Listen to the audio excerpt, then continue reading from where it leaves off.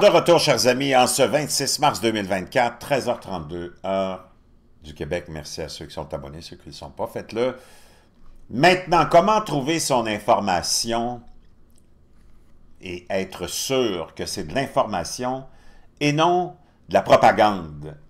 Google, l'outil de recherche, le navigateur le plus utilisé au monde, on le sait, est contrôlé par l'élite globaliste et mondialiste, qui n'est pas là pour informer, mais qui est là pour faire de la propagande et convaincre les gens d'une idéologie, d'une certaine idéologie, et on le sait, cette idéologie-là est toujours gauchistoïde, penche toujours vers la gauche. Google a été exposé à maintes et maintes reprises, récemment avec Gemini, le pseudo-outil d'intelligence artificielle. Il faut comprendre que l'intelligence artificielle, c'est du n'importe quoi, c'est un gros ballon, ça n'existe pas. L'intelligence artificielle, c'est créé par l'homme.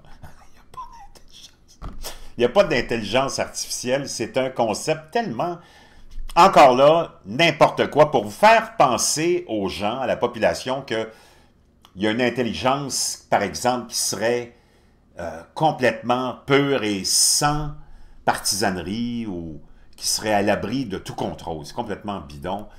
L'intelligence que vous avez sur ces, euh, sur ces applications-là, c'est une création de l'humain.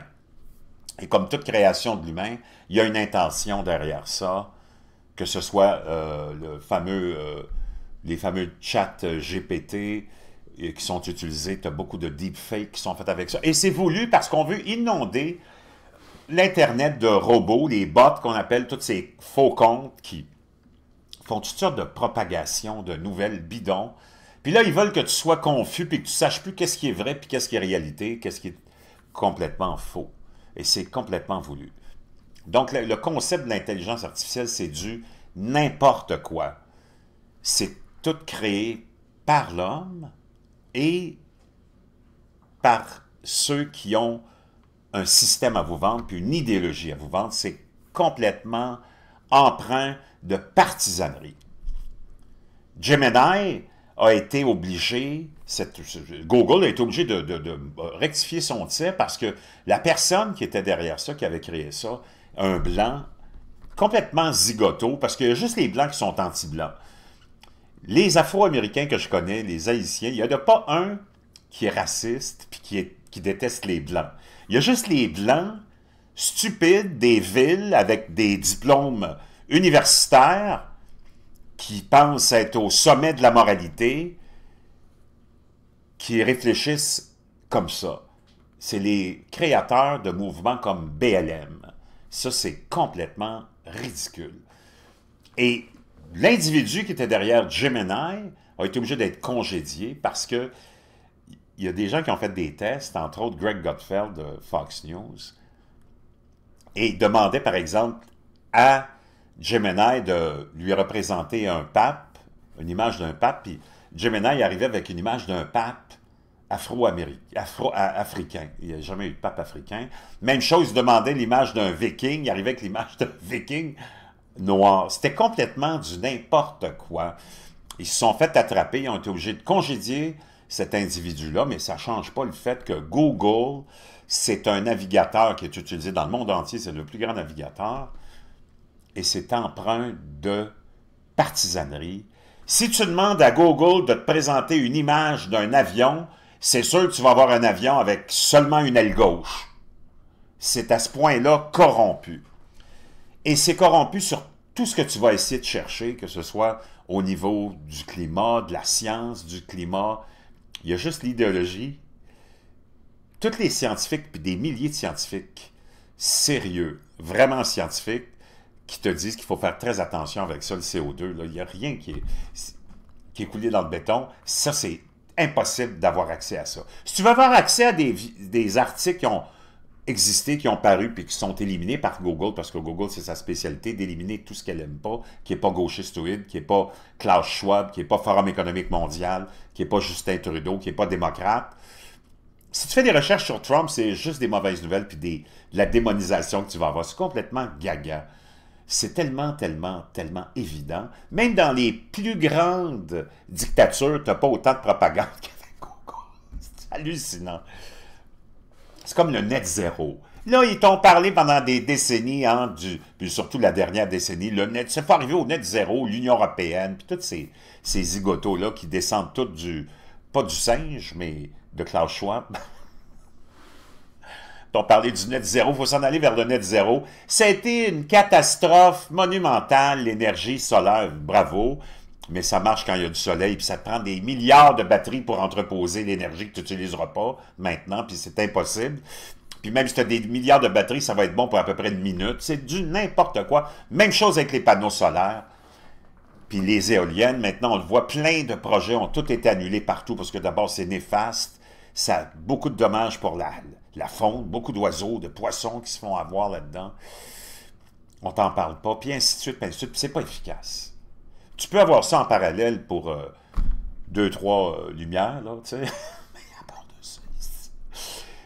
Le nucléaire, c'est une des meilleures, pour ceux qui n'ont pas l'hydroélectricité comme nous, là, en abondance, qui n'ont pas d'eau, euh, le nucléaire est la meilleure solution. On voit que il y a à peu près une centaine d'usines au charbon qui sauvent à chaque année en Chine.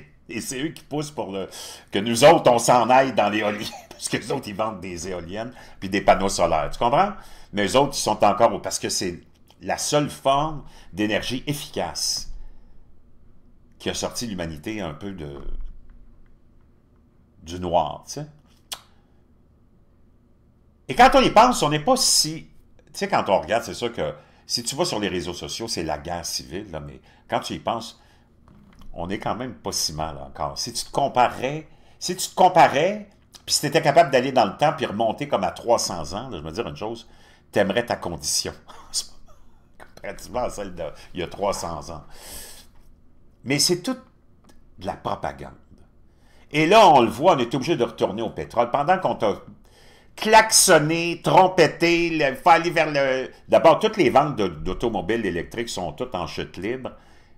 Tous les constructeurs automobiles arrêtent de construire des voitures électriques parce qu'il n'y a plus personne qui en achète. La frénésie des petits universitaires qui, veulent s'en aller dans leur petite voiture électrique, faire leur petite épicerie, pour acheter des ananas qui viennent d'Hawaï, des ceci qui viennent de l'autre bout du monde, là, ça c'est correct pour eux autres, mais il faut qu'ils se promènent avec la petite voiture électrique, faut que...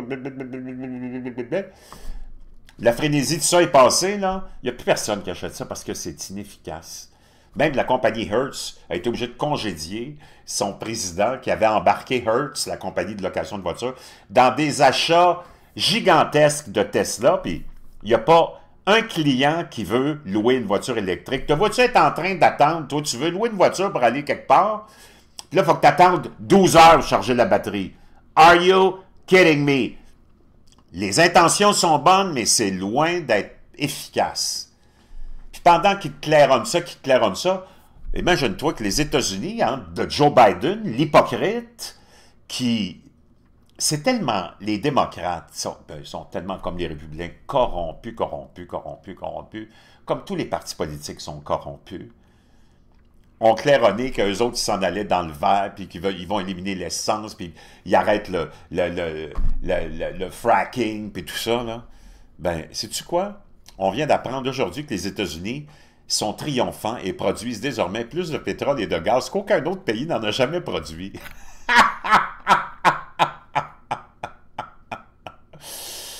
Wow!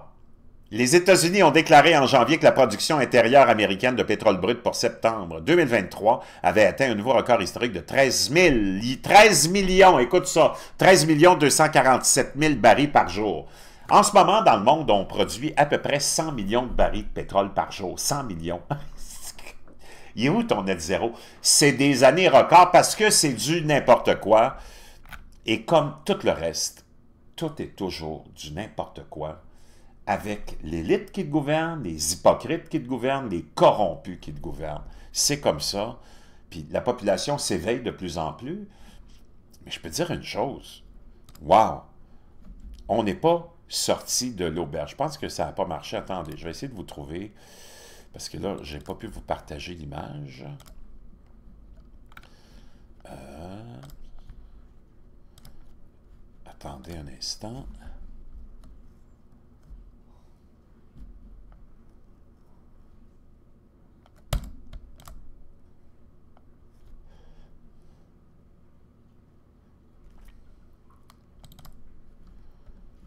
Bon. Euh, bon, là c'est revenu. Je m'excuse. Ça, c'était l'article en question. Je vous le laisserai. Les États-Unis triomphants produisent désormais plus de pétrole et de gaz que jamais. Je vais dire une chose. tu te fais raconter, mais vraiment, vraiment n'importe quoi. Je vous reviens.